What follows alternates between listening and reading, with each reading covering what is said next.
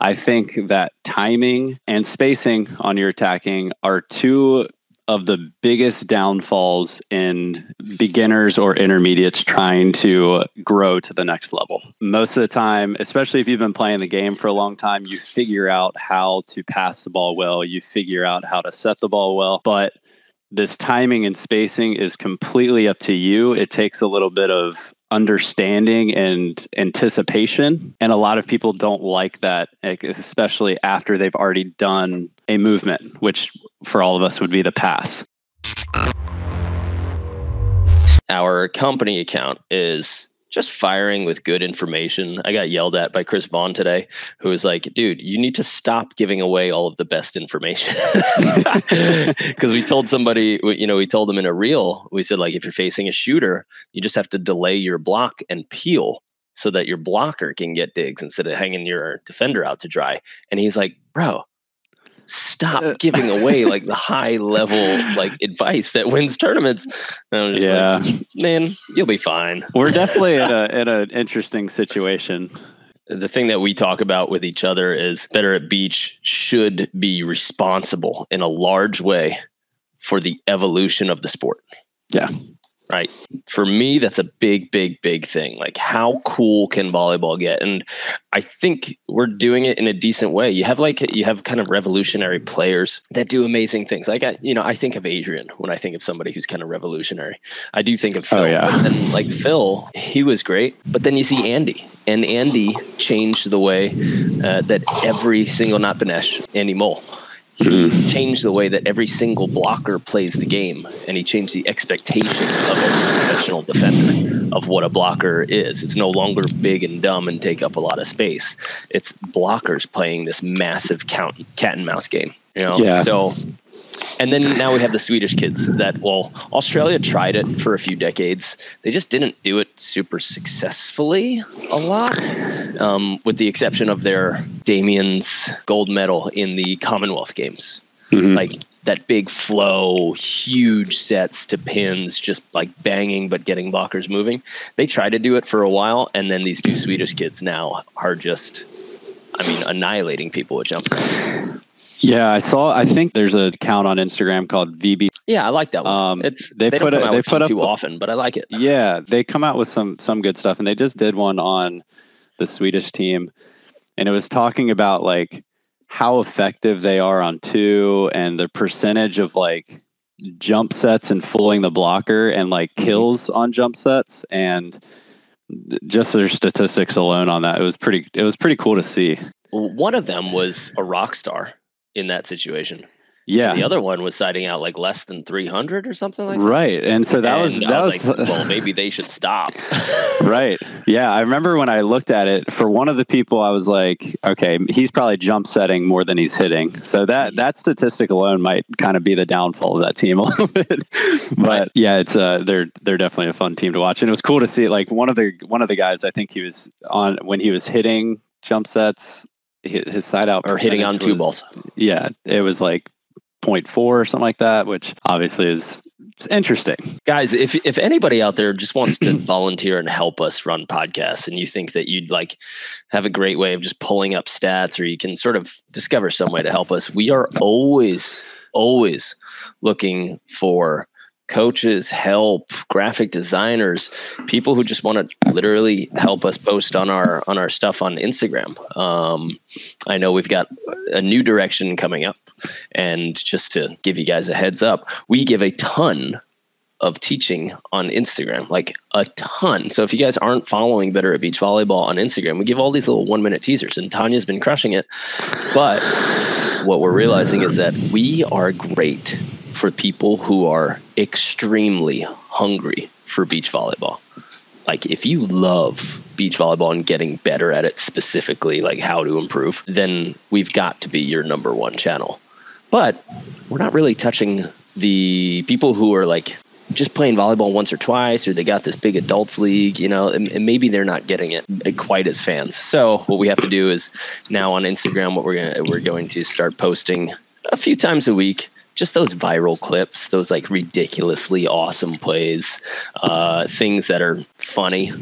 You know, that's that's not us, but we can repurpose that from other people and still have a little bit of entertainment on our channel combined with uh, all of our massive amounts of teaching. So I love it. Love new directions. Yeah, it's been great. I just went on uh, Kim Hildreth's her Instagram and did a talk about nutrition. Oh, And, cool. Yeah, had a lot of fun. She talks a lot about emotional connection to food and how like people have kind of problems with that. And I explained to her that to me and yes, I'm rare, I'm different. I don't have a strong emotional connection. Like, it doesn't make me upset. I've never been too self conscious or anything about food. I guess the biggest emotional battle or like little internal tear, maybe with drinking for me where I enjoy having a beer, I enjoy having a whiskey, but I do know that it's not what will get me to the next level. You know, I enjoy Right. having friend time. So that's probably the only little emotional tear that I get with food. But for me, food, it's fuel, it's performance. If you want me to eat the same thing every day, five times a day, I'll eat it if it means that I'm going to be doing well. So it's been easy for me to stay in shape with food and eat good things, and especially with my wife who who cooks great healthy food and will and refuses to get by or or cook unhealthy food. I'm a little bit spoiled in that department. So I, you know, I don't really need I don't have that same battle with food and, and body image that a lot of people do, but I know that it's real. I know that it exists. The conversation that we had was what she was expecting or looking Right. but if you guys want Yeah. to check it out, it's on Kim Hildreth's Instagram. I don't know her exact Instagram, but it's K I M Hildreth. I think that she's good. She she's one of the, like the only people that's really, in my opinion, that I've seen like focusing truly on the nutrition side of beach volleyball. Mm. They're just good people in the sport of beach volleyball. So And Kibby just sent me a few uh, a few real estate options in Florida. right, So he's also a real estate guy. It's fun to see how many volleyball people are so into real estate. I think the entrepreneurial mindset comes with people who are just addicted to going to the beach all day. They're like, what job could I get that allows me to be on the beach like six or seven hours a day? and so we get a lot of teachers and we get a lot of real estate people right, or unemployed. or unemployed part time coaches who Yeah, there you go.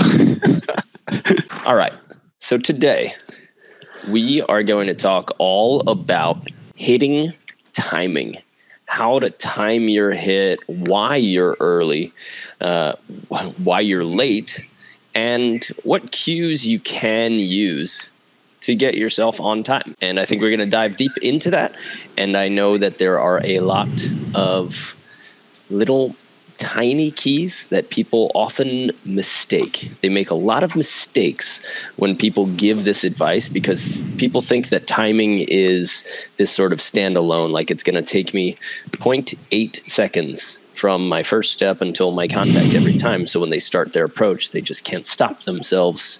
And that's a huge problem. So, how to time, when to adjust it, and everything about timing and attacking. That's what we're going to talk about today. if you're here, this is this is probably one of the most important conversations that you can listen to because I think that timing and spacing on your attacking are two of the biggest downfalls in beginners or intermediates trying to grow to the next level. Most of the time, especially if you've been playing the game for a long time, you figure out how to pass the ball well, you figure out how to set the ball well, but this timing and spacing is completely up to you. It takes a little bit of understanding and anticipation. And a lot of people don't like that, especially after they've already done a movement, which for all of us would be the pass. So the first thing that I'll say is I think spacing. So I'm going to talk about spacing first. I'll let you kind of talk about timing a little bit. Sure. But one of the things that I really enjoyed that you've you've talked about in the past that I've taken now and we we coach it at all of our camps is the way that you find how far off the net you should be approaching is by going up to the net, making yourself an arm's distance length back and doing a performing a full volleyball swing so that you do not hit the net. A lot of us get set way too tight. That's a completely different conversation, but if you can find that starting position and then you can turn a- away from the net and you can do your four step approach backwards into the court, then that will allow you to find where you should be starting. I think that this starting position is on average, I would say, is about three to four feet further than the normal person approaches from the net. Oh man, that's to me gross understand. I think people. I think it, yes, yeah, the, yeah. their approach distance, but yeah, but what that's going to do is it's going to show you that one, there's a different starting position for a lot of different heights, right? Like if I'm six five and one of my friends is 5'10, then we're going to have different starting positions within the court. Um, so finding that position away from the net is really, really important because it's going to allow you to spec- to know where you should specifically be starting. I call it middle school girl complex. I and the only reason I can say that is because I coached middle school girls. Um, don't don't go around saying this. It's cool. I can say that. Yeah. Coach little um, girls. yeah, I loved them to death. But one of the things that you see in every single tryout for a middle school girls team is if they have volleyball knowledge at that point, is they pass the ball and then they run to like the tee of the tent where the 10 foot line meets the sideline. Mm-hmm. And then they throw their hand up in the air and they say, right here. And that's where they start their approach every single time. And you see a lot of beginners or intermediates who have been taught that they need to bump away from the setter. They find that position. But then if you run so close to the net, you're already setting yourself up for failure. Yeah. So I think that one thing that I've especially when I'm coaching beginners or intermediates or open level players. A lot of open level players have the same exact problem. I have this problem some a lot of times when I'm if I feel like I'm messing up in practice on my attacking, most of the time it has to do with my spacing. But after you pass the ball, if you can act like a force field is in front of you, mm-hmm. and you can shuffle behind that force field as much as you want, but the force field doesn't open until the setter touches the ball. And that, that kind of gets us into timing. But if you can keep that spacing after you pass the ball until you're looking for that timing step, then that's the first key that I would say is be okay with feeling like you're too far from the net rather than too close to the net. Yeah, I don't know if you want to dive a little bit further into that, but I, I think that that spacing is something we have to talk about before we think about timing. Yeah, no, I, I absolutely love that. And just going back to how you explained how to find your approach distance, everybody needs to do this. Mm-hmm. Everybody needs to go to the net, stand an arm's distance away, turn around in place and take a full speed approach with a little broad jump. You have to do that in order to see what you're really working with. And don't don't do it at half speed. Don't kind of walk through that approach. Take your game full speed approach. Because as soon as you do that, you're you're blown away by saying, "Oh man, that was my body that showed me how far I should be." And from there you can play a little bit you can play a little bit with maybe elongating it, getting it maybe a tighter set, a longer set, but you have to see where you should start. And then once you do, get a flip flop and put it three feet in front of wherever you finished up. And then for the rest of the practice, the rest of the match, the rest of the tournament, say, this is the right distance for me. And that force field that you're talking about, now you got this physical object that you can say, oh, stay behind that. Oh, stay behind that. I had to do that for myself on defense uh, a few years ago because I would get into that libero position, get super close to net, and just try to wear balls instead of staying back and giving myself some reaction speed. And I couldn't believe how many times I ended up in front of the flip flop that I put outside the court. I was like, this is a real problem for me. And I didn't need a mm-hmm. coach to fix it after they found it on film. Right. After we found it on film, thank you, coach. I got that. Now I've got this for the next 10,000 points in my life. I just have to train it into myself. So I put that marker on the side of the court. Boom. Now I'm ready to rock consistently and I have my force field. I know when I'm doing it wrong.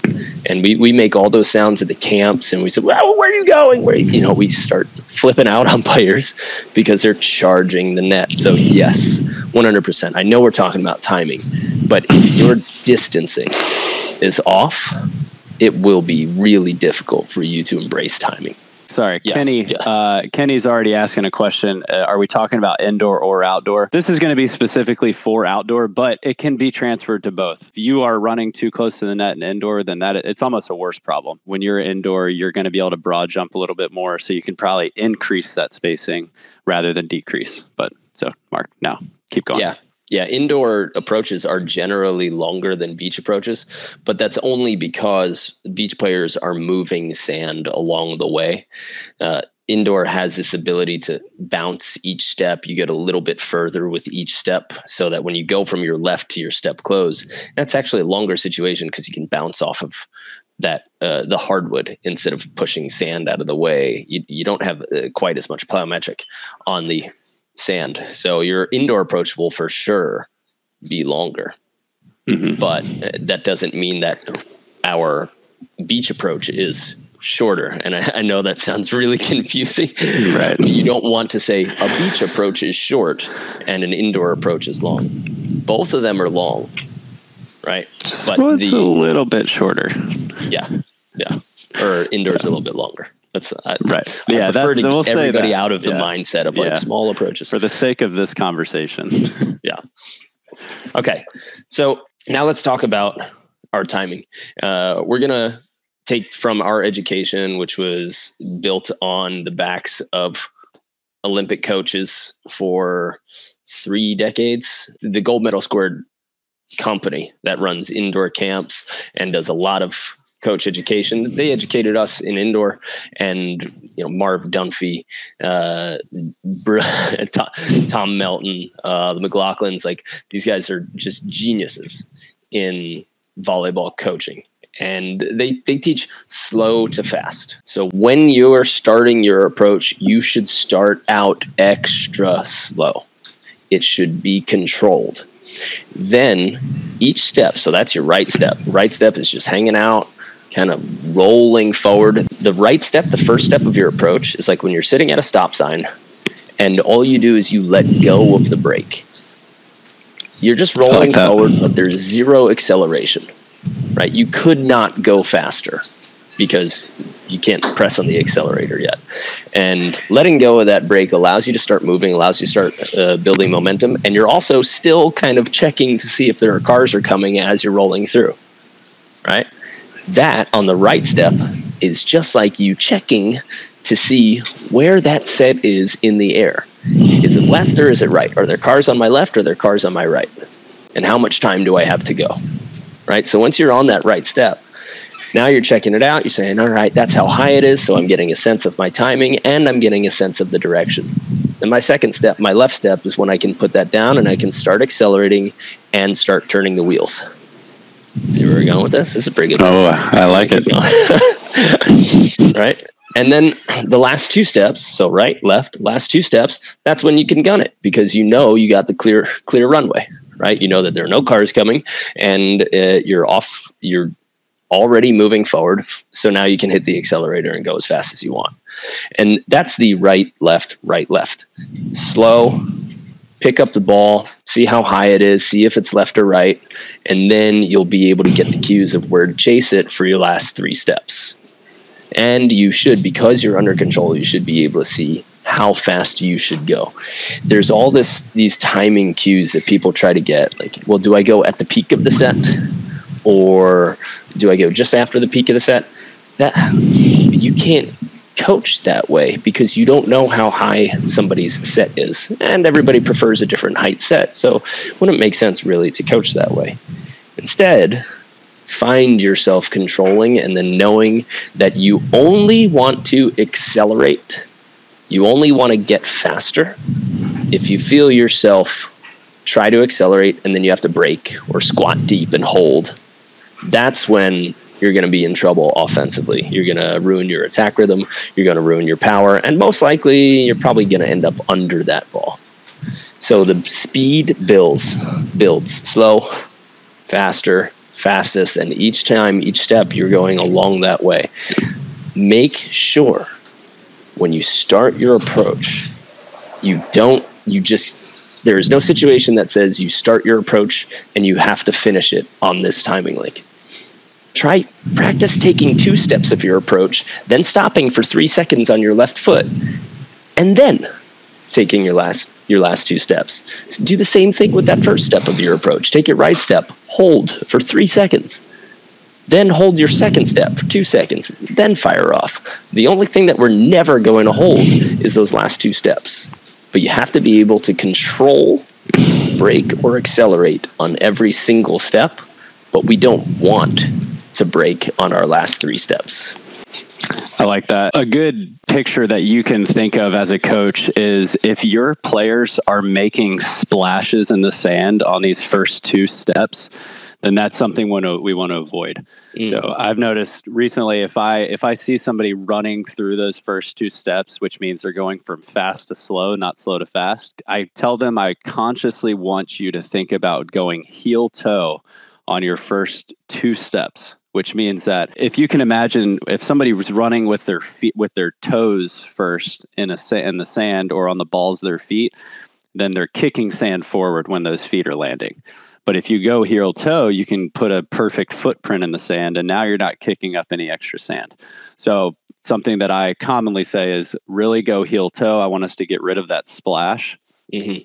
and if you can do that then it allows you to like you were saying read that set height, read the set direction, allow yourselves on those first two steps to either go in and out. And then that way, when you're ready for those last two steps, you can go super explosive. I commonly say that you should it should feel like you're jumping off a trampoline or a diving board. Mm-hmm. You don't you don't see a whole lot of people going on into a trampoline squatting to jump and trying to hold it for a couple seconds before they spring up. If you're doing that, then you have not found any of the joys of a trampoline. But with that approach, I think if you can, it's going to feel, you're going to feel like you're going to be late, but that's, that's an okay th- feeling to have. I almost think that after you go through that right step, which should be a walk, a left step, which should be a, a little bit quicker tempoed walk, but still walk, you should almost have this feeling of like, oh crap, am I going to get there? Because if you have that feeling, then that's going to make you go really aggressive with those last two steps, get up in the air quick and hit. So I think that that will keep the tempo pretty good. Absolutely. And so now that you've kind of spoken about the tempo of the steps, I'll kind of talk about the timing step, I think is huge and when to put that down. I've heard a couple different ideas on this, but I've always found that if you can put your timing step down on the setter's touch or contact point, Mm-hmm. then that is going to set you up for this slow to fast. And we really need to emphasize the idea that when you take this first timing step, just like you said, when you're letting off the gas and your car is coasting, you're almost holding your balance on that first step. So when you're rocking forward and you're going, it it should feel like you're about like if somebody came behind you and pushed you, you should fall right on your face. Mm. Because you're kind of you're holding that first step as long as you possibly can until it's you see that set go up and then you should have a, a light bulb moment that says okay i'm going here mm-hmm. and once you have that feeling then you can kind of move on to your left step and then finally your your last two steps or vice versa if you're a lefty. But finding that timing step on the setter's touch is really important. And I think that's a lot harder for people to do than it's way easier said than done. And I think a lot of it just has to do with anticipation. You know, if I have a, a crowd of people around a court and I say, say now when I'm going to catch this ball and I toss it in the air and then I go to catch it, almost every single person can say now when I'm catching the ball. But for some reason after you pass and then you're doing your shuffle and then you're trying to find that timing step for some reason there's a miscommunication in that with your mind and your body. And for me personally I, th- I think it has a lot to do with stopping.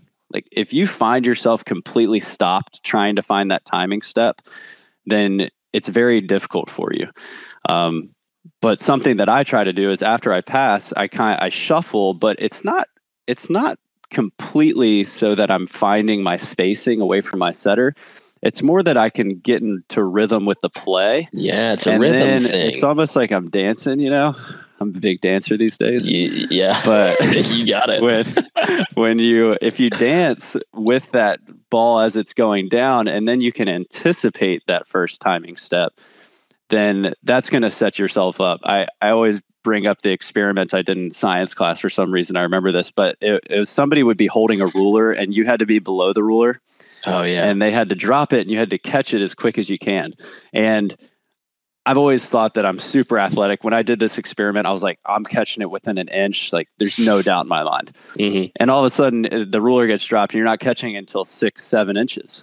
And it, it kind of surprises you. So it's the same thing if you're just going and putting that right foot down, and then you're trying to pick it back up and put it back down on the setter's contact, you're going to be either too late or too early just because you're you're not your reaction time isn't as quick as you think it is. Yeah, yeah. But if you can find that rhythm after the play and kind of keep moving, shuffling into that timing step on the setter's contact, then it should be a little bit more flowy. I mean, I used to uh, don't mock me. I used to do a little double double dutch back in my day. Yeah, that doesn't surprise me. and I mean, the key to getting in there, just like you said, is not sitting still and then jumping in. You know, when you're on the side, you start feeling the rhythm of the ropes and you say, okay, when do I go in? When do I go in? When do I go in? Now, boom. So that you hit that rhythm, but you're already kind of in motion. And that is how we would like to be able to teach approaches so that we can stay in that motion. We don't want to really get completely stopped. I mean, it's it's not terrible if you do, but to get completely stopped and then you waste a little bit of that rhythm, you don't have to do that. You can develop that rhythm from the beginning of the play, from after the pass or after the dig, but you can do it in a very slow and relaxed way.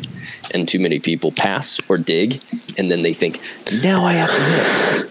It's no. Now you have to start developing rhythm. Then once we start developing rhythm, then you time so that you can get within a similar window, not the same window or no no, no hit's going to be exactly the same timing, no set's going to be exactly the same timing, but we do in order to be efficient, we want to be within a similar timing window. And so when we talk about timing step, we have to go back again and we'll we'll be repetitive with this, but it's not you just go at this time. You're going and observing and changing what needs to be changed with every single step. So those feet need to be in control, grabbing the sand and understanding that each step has a purpose. It's not one approach. Uh, it's not necessarily four steps, but it's right, left, and I'm going to count the right, left as like that third step. You got those three chances of when you can slow down or speed up. And, and everybody really needs to understand that. Maybe I'm talking from a, a place of pain because I had a coach who told me for months, you have a one speed approach, you have a one speed approach, you have a one speed approach. And maybe I just wasn't smart enough to get it. I just didn't understand what she was saying in any way. I was like, well, okay, that's great. I am one speed. I'm 100%. 19 years old and literally, like, I think that was the response that I gave her. yeah. You're like, cool. Yeah, I like that. Yeah. sounds like a great thing. And I was like, yeah, hard all the time. Oh, man. But she couldn't put it in that way. And then it took me probably maybe three more years to actually understand that. And that was when I worked with uh, the, uh, the Scottish coach. Uh, now I'm blanking on his name. Uh, Thomas. Thomas. Yeah. And he got me to understand that I could just hang out for as long as I wanted on my left foot. And then when it was time to go, accelerate to the max. And I was three years out of college and I just started hitting the best balls of my life. I mean, unloading under full control. I never never had a problem with timing a setter after that. I see the set, I hang out on the edge of my left foot as it's kind of halfway, maybe a third of the way to me. Now I know when it's time to go, right? Mm-hmm. But that is really a big difference maker that can that can go for everybody's game. Yeah, and I I love talking about Thomas because I was at the same practices as you and for somebody that has never played volleyball, his ability to see players differently and give them advice and work through the problem individually that mm. I, I I gained a lot of respect for coaching after working with him and he pretty much made me from a non-starter to a starter within 2 weeks just from little ideas that he introduced to me that I had never heard of before it's pretty cool it's the advantage of working with different coaches Yes. You know, you It get is. to hear things in a different way. Uh, like I said, I, I had probably been through maybe three or four different coaches at that time when I had finally discovered what this person three years ago was saying. And one of my actually good friends who works with Tony Robbins, he's like one of the guys who's, who's in his inner circle. I said, I'm so upset. You know, I, you told me to make these YouTube videos the first year that I was Mhm. coaching in Hermosa. And we even filmed two of them and I was awkward and I had no idea what what we were doing. And now, what four or five years later when you came around, that's when we started really really knocking them out. And he's like, "Mark, like, you didn't ignore me. We just planted those seeds and they needed their time to grow and develop." Mm-hmm. And that's what I think coaches can also continue to bring to their players. It's just that you can say the same thing, just like a, a great book. You can say or read the same thing at different points in your life, at different points in your career, and it will hit you in an entirely different way. And it'll teach you what you need to be taught at that moment. And that's why we have multiple coaches. That's why we have great books. And that's why you can keep watching the same Better at Beach Volleyball videos on YouTube, right? And Yeah. it's like, ah, now that makes a little bit more sense. Yeah, I, I think uh, who Christina from Salt Lake, Go on. Ashley. Ashley Garza, little girl. Yes, she's been to a couple camps of ours now, and she said I I was a little hesitant about coming again because I thought I would just hear a lot of the same information. But she said just because of the different coaches that were there and the fact that she had leveled up in her game, other information is what caught her eye the second time around and made the camp even more valuable. So that's kind of one of our own little tidbits that you can take away from that as well. So you're always growing, always learning different ways. Let's pause here just uh, in the lesson, just for maybe a couple of announcements. Uh, number one, if you guys ever want to come to a training camp, uh, we have training camps. Now we're going to be doing them year round. However, our April 3rd to 10th training camp sold out weeks ago. We do have a waiting list. We've sold out. We have a waiting list. What we're seeing if we can do is we're seeing if we can hire more coaches to make sure that we keep our small coach to camper ratio. And then if we can get those more commitments before we actually like charge you and then have to refund or anything like that, if we can get enough commitments and we can bring another coach to fix that, then we're going to open up those spots. So if you're not on our waiting list, you should always sign up if you think that there is a chance because that's when we have the opportunity to contact you. But if you don't sign up for the waiting list, we can't we can't even do these things. So if you want to check out what our camps are all about, go to betterbeach.com forward slash camps. And if there are spots open, then you can go ahead and book them. And if there are not, we will always put up a waiting list form so that we can get in touch with you. And our ratio right now that we're working with is one to eight. So Mhm. for every eight players, we get one coach. Don't realize how important that is until you're there and you see how hands on our coaches are. But once we get eight people that say, yes, I'm in, then that will allow us to book our coach and make start moving down the list. So Definitely. And if you guys haven't checked it out yet, I made some adjustments to our homepage on betteratbeach.com. I know that right now we're showing the library of courses, but what we wanted to do is change the homepage so that you can easily access anything that we are offering because we have uh, classes and private lessons in Hermosa Beach and hopefully another town coming up soon that Brandon doesn't know about yet, but we're telling him afterwards. We also have our clinics, which you can bring us to your hometown or your facility. We're working currently on four different weekend clinics. Those are three sessions on a Saturday. So we would fly in on Friday night. Maybe we have the opportunity for private training, but then we run seven and a half hours of training on Saturday.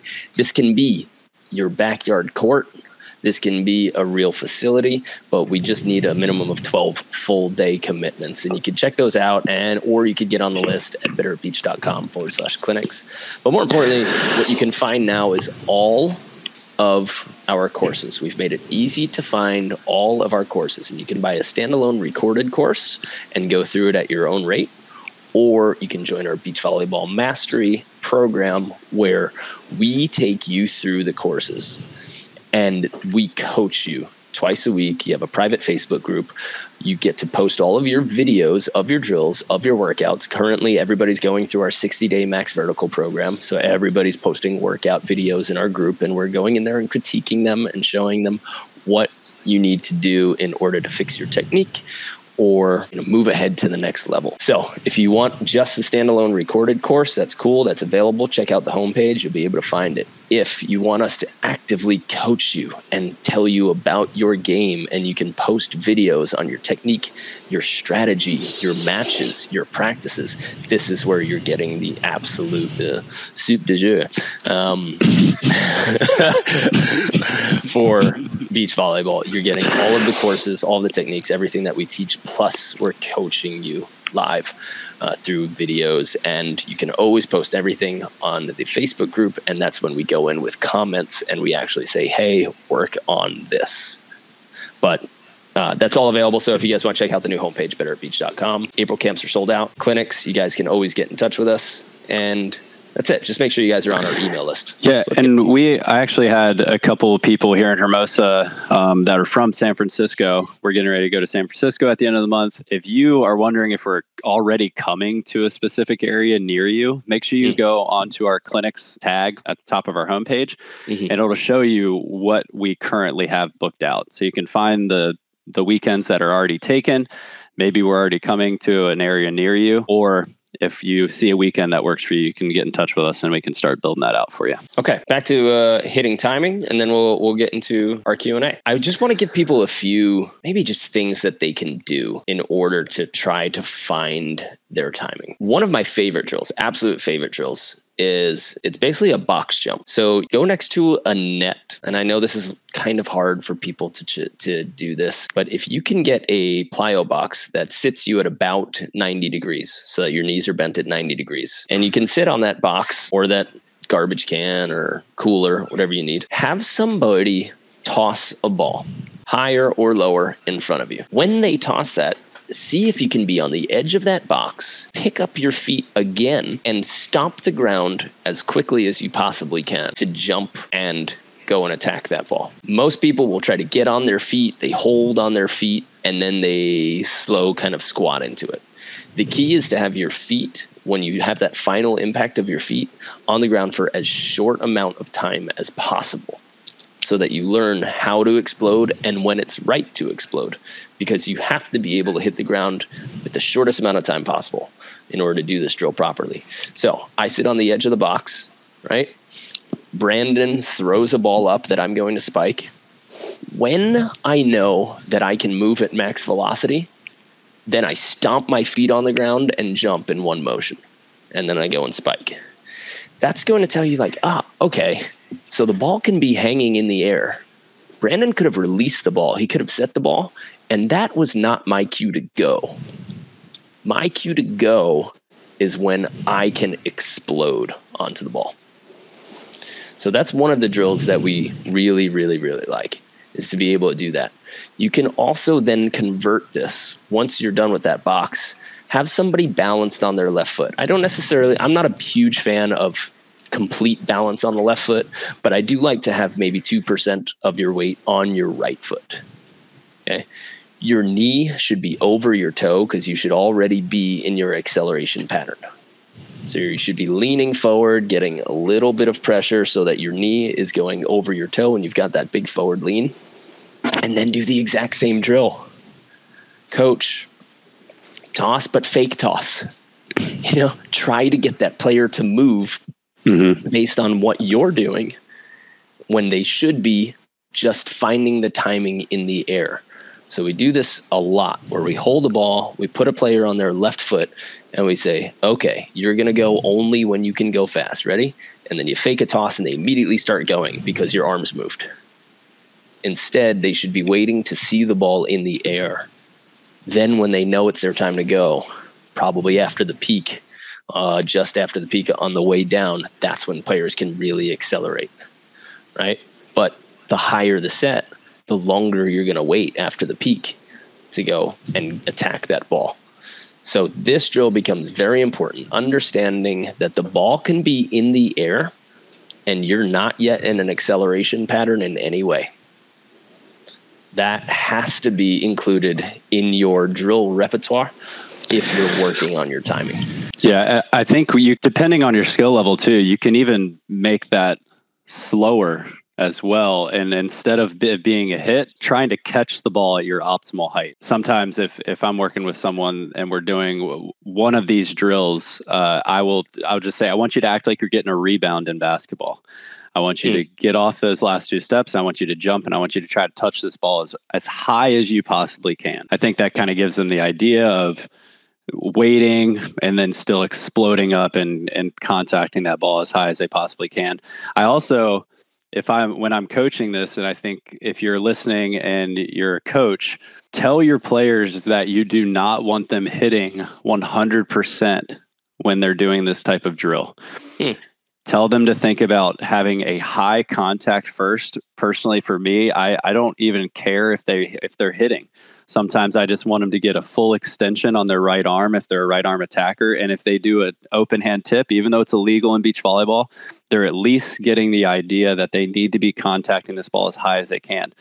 One of the big issues that we see when people try to hit right away is a lot of the times when people get lessons on attacking it's because they they want to hit harder. They want that ball to bounce more which is something we have to completely get our, our heads out of. But if you can encourage your attackers to go for optimal height after the timing is perfect with those last two steps and that explosiveness, then you can start adding, okay, now let's go to a 30% swing, 40% mm-hmm. swing, 50% swing. But if you jump into, okay, just try to hit, hit whatever you want, hit as hard as you want, then you're just encouraging the same bad arm swing and, and sure. idea. And this this tech the timing that we're working on with these two drills is to allow you to contact the ball at the highest point possible for you. And if if you're just thinking about hitting hard, then you're defeating the purpose of, of your arsenal. So. Definitely. There was one more thing that came to my head uh, as we were talking about. It's during crazy rallies or great defensive plays. Right. Oh. Everybody it's funny because uh, in on stadium court you always hear the increase of volume with every dig right? And that like endorphins that come being on center court when everybody in the stands is just starting to scream a little bit louder oh oh oh and it's like how high pitched can the audience get you know?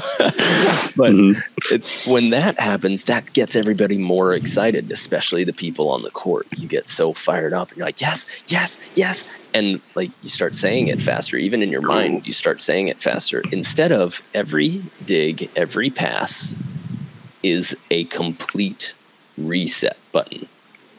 Your emotion has to reset.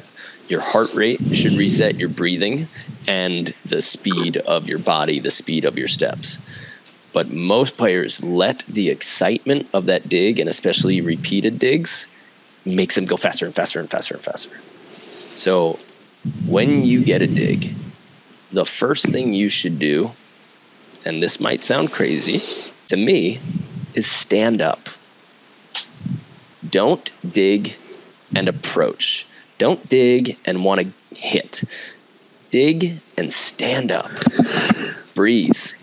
Figure out how to control your timing on the next ball. But everybody just digs and like, now I hit. No, no, no, no. It's dig, stand up, or chill then start understanding timing. But you have to hit that reset button as soon as you get the dig, as soon as you get the pass, so that you can separate your dig and the excitement of the play from your attack. Because you make a great dig and then you're going to spoil it completely by just charging the net because you're so fired up and you think that the next step after dig is smash. Right. And it's it's just gotta be wait. And we had Casey Patterson. If you guys take a look at our YouTube channel, Casey Patterson uh, took us through a run through of his win in Manhattan Beach. And I showed him a picture of him getting, I think he was down 12 14 or 11 14. And he got three, three digs or a bunch of digs on Tri and John Hyden. And I said, he got the final dig. He's at 15 14. He lays out and gets this one-handed scoop down the high line. And I said, "Okay, Casey." I paused it. I go, "What's going through your mind right now? You just dug the ball. You're about to get your name on the pier. It's going to take you one swing. What's going through your mind right now?" He goes, "Haha, wait." And I think you and me at that point were like, like what? Like, we thought he was building suspense, you know, for the for the, right. the, the show. And he's like, no, no, no. Actually, wait. He goes, I know that no, the most important thing that you can do on a hit is wait, so that you can explode to the ball. And so he got the dig for for match, championship, AVP, and pure point. And the next thing that entered his mind after a dig and a three point or a four point comeback was wait. And if that doesn't tell you how important it is to be patient on your approach and to be slow to go in, uh, I don't know what does. Mm-hmm. So, if you guys want to check out that interview, you can search uh, "Better at Beach" Casey Patterson on YouTube, and hopefully it comes up. Yeah, I I love that. So something that I've I've been doing at my practices the small three week window that I've, I'm back in is challenging myself to feel less tired every drill that I do. Um, because nor my endurance isn't where I need it to be right now, but it's preseason, so I give myself a little wiggle wiggle room. But I did my sprints yesterday. Yeah, if I'm doing if I'm doing an attacking drill and after I've done ten attacks, I feel I'm breathing real heavy. I'm I'm my legs are tired then I tell myself before I do the drill again, say, okay, go through the same goals, but at the end of these 10 attacks, you need to feel less tired than the round before. And it's crazy how much you'll slow down things, how much a deep breath during your between your pass and your approach can slow your heart rate. Um, but if you don't think about doing it on purpose, then it's it's really hard to remember. So, but if you can start thinking about all those things when you're at practice, then you'll be able to do it in a game as well. So, for sure, I like that. So, final announcements, and then we'll we'll get into to Q and A. The more we kind of grow and and add on more things and work harder from our side, the more I realize that we're not clear about who we are. For those of you out there we want to help you get better at beach volleyball. We want to help you coach better, play better, and we want to create events that are fun. And you can take vacations, trips, days, and get the game in there. When we coach and when we run camps, we do want to get you better. That that is our primary goal. How can we create an experience that allows everybody to get as good as possible? And then we kind of let the volleyball be inherently fun. Right? So, we run those camps we have clinics for one day. Uh, we have a slew of free information on our blog. If you go to betterbeach.com forward slash blog. If you're not subscribed to our YouTube channel already and you're watching this, please, please just hit the subscribe button. It helps us a long way. And we also have online courses. Our online courses are recorded monster courses. There is so much information in each one that you could watch it again and again, just month after month, and continue to go through it. And they will help you. We have a passing, a setting, an arm swing specific, an attacking, uh, and an offensive design course. We have an ultimate defender course, which teaches you blocking, peeling, and defensive technique and strategy. We also have a serving course, standalone serving course, and practice plans. Those are all recorded courses. If you want us to help you actively your game where you post your videos of your drills, then we can do that. And that's in our beach volleyball mastery program where you meet with our team of coaches twice a week on video and we can legitimately help you with your game.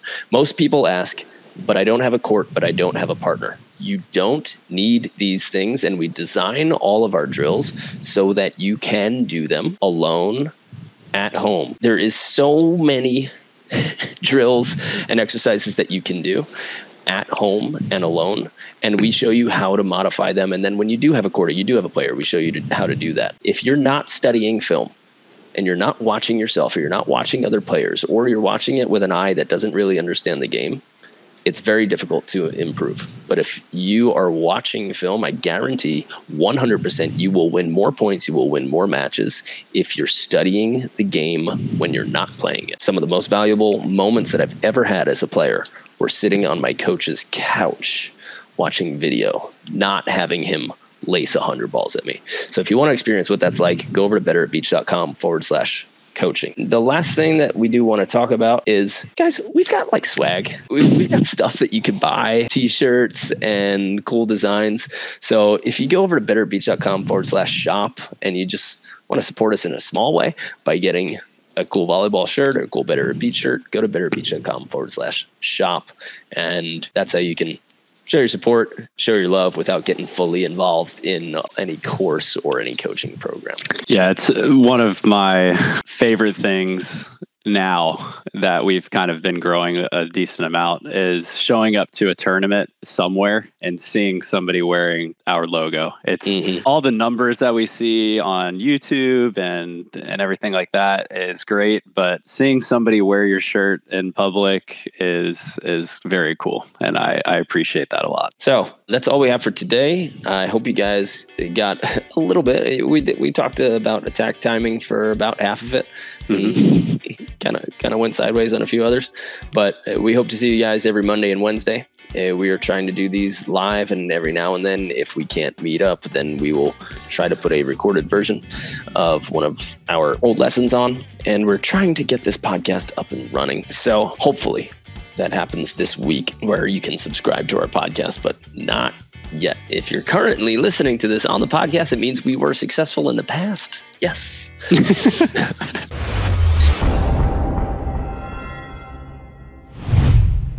I'll start right at the top. Uh, looks like Gwen Noel Noel. Uh, should the ball be sorry, yo? Should the ball be on the top of your head or top of hitting shoulder? I I personally think that you should think about getting it on top of your hitting shoulder. Um, if you start thinking about letting the ball land on your head, then that's when you're you're going to start creating a little bit of an interesting arm swing.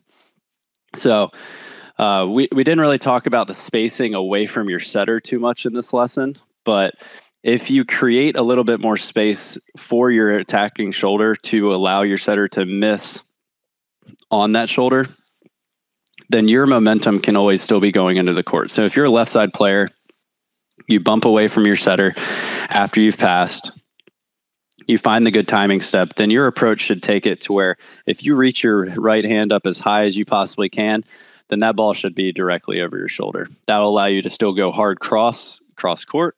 Um, and it also allow you to start manipulating with your hand if you want to go cut shot or high line. Okay, so I'm going to keep moving on.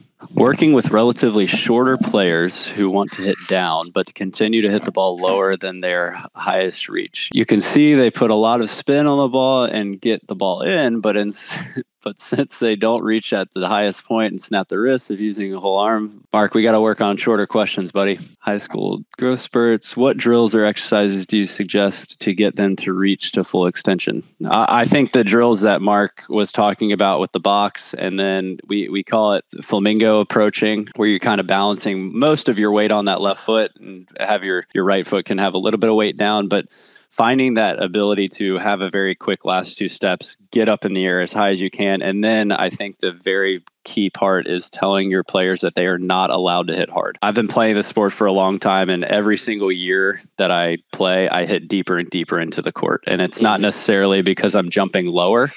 I just know that those balls are a, a whole lot harder to dig. So and, and block. Once you get to a certain level, if you're trying to bounce balls, it turns from being a very fun event to a very disturbing memory. So just keep encouraging your players to miss deep and or hit deep into the court, back thirds, side thirds, stuff like that. Okay, uh, I'm down to Raul Mayers. When your hitting timing is perfect, what is your body's position relative to the ball in the net? Your body's position relative to the ball in the net. Uh, let's just say that your ball should be very slightly in front of your head. So if you can basically put your bicep on your cheek, that is about where you would want to contact that ball. That way, the ball is slightly in front of you, not so that it's straight up or behind you. And uh, as far as relationship to the net, that depends on how far your your perfect set is off the net. Uh, I think the what I'm kind of reading from that question is what we teach is if you're a left side player and you're right-handed, then your shoulders should be facing hard cross, that mm. cross court angle. Uh, so if that's what you're talking about as far as relative to the net, I would change that relative to the net to relative to the deep cross corner corner of the court. And then as a left side. As a left side right handed player. Mm-hmm. If you are a left handed player, then that goes a little bit more seam. Um, if if you're a right handed player and you're on the right side of the court, same idea. Your your shoulders should be facing a little bit more seam of the court, middle of the back sideline. That will allow you to have all the swings that you want available. I've always played the right side. Recently, trying to play on the left is causing me trouble. How does my approach change from the right side to the left side? The easy answer, the quick answer is I'm assuming, Adam, that you're a right handed player because most of us are. If you are on the right side of the court, then you are proud. In order for your set to be easiest for you to hit, you should be bumping in the court to allow your your hitting shoulder to get closer to your setter. Mm-hmm. Uh, one way that I describe it a lot is imagine if the court had wood uh, panels and like a hardwood floor, and wherever that setter is, you need to be on the panels next to them. Uh, for if you're a right-handed player and you move to the left side, now you have to bump away from your setter. Once again, allowing the energy of your approach to be going towards that hard cross corner of the sideline or the the boundary lines. So you should be going straight at that corner, and then obviously telling your setter what set you need in order to make that happen as much as you can. But then once you tell your setter what what set you want, it's still your job to fix your approach and go with that timing, right step, left step, and allowing those last two steps to be going towards that corner again. You know, that's something that we didn't talk about in in this whole thing. One of the easiest ways for you to fix your timing is call for a set. Tell your setter what you want. I've been working with uh, the men in Hermosa now for what feels like two years. Mm-hmm. And it's still hard for me sometimes to get them to call for a set every single time. And if you're not calling for a set, you can't ask the question, why why is it hard for me to hit my setter set? Because you're not talking to them. So if you want an easy fix, first thing, talk to your setter. Second thing, think about spacing, allowing your your hitting shoulder to be easier, easily accessible for your setter. One person said, Do you recommend to come to a hold after the pass before starting the approach? don't necessarily have to be a hold, but there has to be a, a slowdown in rhythm. So after you pass and you do your shuffle, Brandon uses panels. I say that you can get 10 feet of width from your setter on the left side and be inside 10 feet from your setter. Be make sure that you're no more than 10 feet away from your setter as a right side. Now, do you have to hold? You don't have to freeze, but you should feel a delay, a slowdown, a relaxing, exhaling breath. All right. But there shouldn't be too many times where you're sprinting unless you are running an offense that is designed that way, in which case you need an immaculate setter who can throw your rhythm, feel how fast you're moving at all times, and always find your window. But mm, for now, we'll stay basic. And if you guys ever want to get into some a little more advanced uh, offenses, we'll talk about that on another episode. And we can talk about that way more in depth if you're in the uh, Beach Volleyball Mastery Program, betterbeach.com forward slash coaching. I think that might have been our, our last question. Yeah, I think just uh, one last thing before we wrap up is if you're able to find this timing step and putting yourself in charge of the direction of your approach, then you are taking the pressure off of your setter. If you feel like it's the setter's job to find your window, then I can almost guarantee that you're you're too early and you're not thinking about your timing steps at all. Mm-hmm. But if you can find that slow timing step that Mark was just talking about, that that kind of hold and momentum moving forward, and then going into that second step and then right left, then you're putting all the stress on you. And I, I know when I was playing, I didn't really know what a bad setter was because the first two people I played with were two of the best setters that I've still played with to this day. And I just got really lucky to play with them. But then when I started playing with people that were a little bit more inconsistent, but were still athletes and really fun to play with, I realized that I had to take some of that pressure off of my setter and find my correct timing. allowing them to just put up a nice hittable ball instead of relying on that setter to be perfect. That's a that's a really tough position to be in as a setter, especially if your attacker starts messing like having a hard time scoring mm-hmm. because then both of you are saying, "Oh, my bad. I'm I'm bad right now." you know, and that's a that's a terrible thing for both players to be saying. Yeah. Uh, we got we got a one last question from Paul Lennon who said, uh, "Should vertical be an issue for spike spiking, or is it all timing relating? You have to time it based on your vertical. Somebody who can jump a lot higher might have to leave a little bit sooner because they're going to jump higher and they're going to hang in the air longer. Okay? Mm-hmm. So that's why it, timing is unique to everybody. If you want to work on your vertical, then you just need to go to our homepage and download the 60 day max vertical program, and that will help you jump higher. But that sh- your vertical shouldn't change your set height. Your vertical leap shouldn't change anything about your look sequence or anything. If all of a sudden you pop eight inches onto your vertical, then you're going to have to leave at a slightly different time. Very slightly. But you have to get used to that according to your own body. So, uh, if you want work on your vertical jump, currently our mastery program is going through two months of that with us. We are doing the program. This is our preseason program for the AVP. And um, most people see an average of four to five inches of increase on their vertical jump. So you guys can check that out at the homepage and click there to learn more about it. But no, your vertical shouldn't change anything about your approach. It will just kind of flow with that because if you jump higher, then you need to leave slightly earlier. If you jump lower, you might be a little bit earlier uh, in your approach or later. Alrighty. I like it. Love it. And volleyball.